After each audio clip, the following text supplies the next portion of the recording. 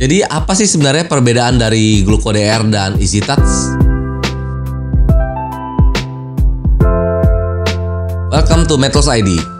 Jadi brosis kita bakal ngebahas alat pemeriksaan darah kapiler. Kalau misalnya brosis kan pasti udah tau lah ya di Indonesia yang lagi paling terkenal sih Touch sih.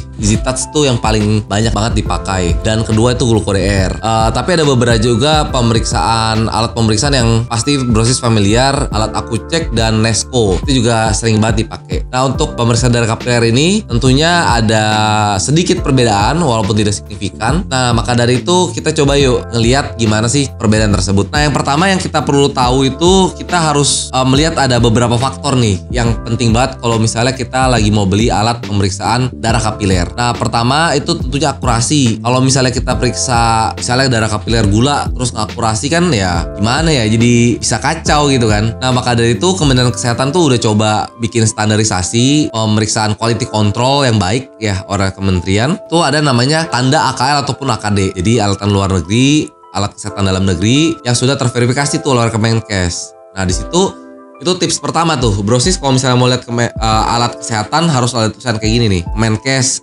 RI AKL nomor sekian. Nah di sini ada nih ya. Uh, yang kedua nih GlucoDR, GlucoDR Nah, di sini AKL, ini berarti import ya, alat kesehatan. Nah, ini udah ada nih. Jadi uh, kalau misalnya misalnya udah ada tulisan AKD ada AKL harusnya sih udah terkualifikasi ya, sudah di quality control dengan baik. Lalu kemudahan dan rekomendasi penggunaan. Itu bertanya kamu juga bertanya kepada kakak tingkat apa namanya kira-kira alat cek gula apa yang dari tampilannya jelas apa namanya tombol yang mudah dijangkau sama penunjuk penggunaannya uh, mendapatkan poin lebih tapi kurang lebih sih sama ya apa namanya gluko DR sama alat isitas itu untuk kemudahan dan rekomendasinya uh, apa namanya sama-sama enak sih pemakaiannya nggak ada beda uh, selama kita baksos dulu ya. Nah, lalu yang paling penting itu ketersediaan strip. Itu ke so, kebetulan ada pengalaman tuh salah satu alat namanya nggak boleh disebutin namanya. Itu memang dia lengkap ya. Dia pemeriksaan alatnya paling lengkap. Tuh dia ada pemeriksaan glukosa asam urat kolesterol sama HB jadi empat for in one gitu. Satu alat bisa periksa empat empat ya. Cuman stripnya ya ampun susah banget dicari. Percuma kita punya alat pas mau beli oh mau beli strip glukosa ada atau enggak nggak ada gitu kan. Ya sama juga kan. Gimana kita mau periksa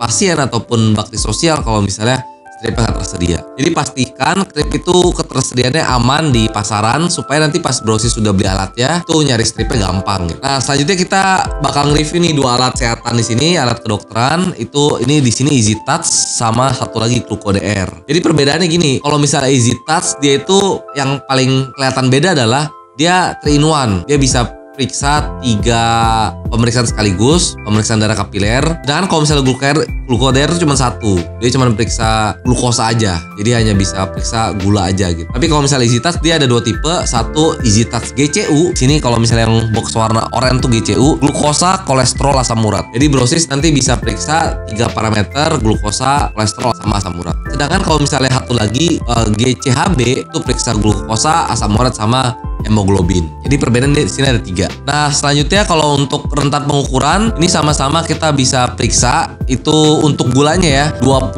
sampai 600 mg per desiliter. Jadi untuk perbedaan nggak ada perbedaan sama persis untuk uh, parameter pemeriksaan gula di Zitat sama GlucoDR. Kalau untuk waktu pengukuran Izitas itu menang ya, tapi satu detik. Jadi waktu pengukuran untuk gula itu 10 detik untuk Izitat, sedangkan untuk glukoder itu 11 detik.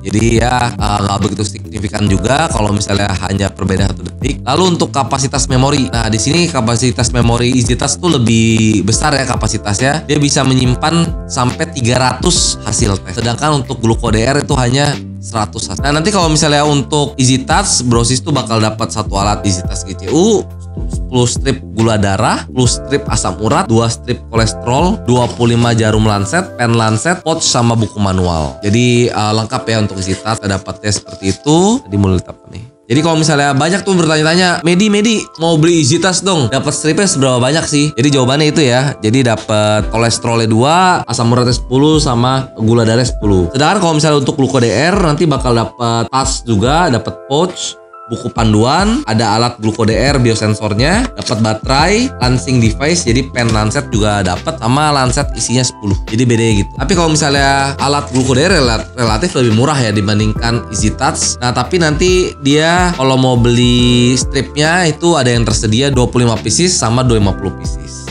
Nah kurang lebih itu ya apa namanya dua perbedaan alat glukoder sama Easy Touch. Cuman kalau Medi sendiri sih dari segi bentuk lebih demen yang glukoder ya. Tapi kalau misalnya brosis mau lihat kegunaannya ya tentunya Easy Touch itu dia lebih efisien karena dia 3 in 1 dibandingkan glukoder yang hanya periksa gluk. Tapi ini balik lagi ke uh, pembelian brosis masing-masing. Ada juga kan kalau misalnya kita hanya mau periksa pemantauan gula ya ngapain trinuan gitu? Glukoder aja. Oke uh, semoga video ini kali ini bermanfaat buat brosis. Uh, nanti boleh chat di kolom komen kalau misalnya ada pertanyaan terkait uh, pemeriksaan darah kapiler, alat-alatnya apa aja, ataupun kalau misalnya ada request nih, uh, Medi tolong dong alat pemeriksaan alat kedokteran apa gitu yang mau direview, boleh banget chat di kolom komen. Oke, semoga video kali ini bermanfaat dan sampai bertemu di video berikutnya. Dan prepare dokter.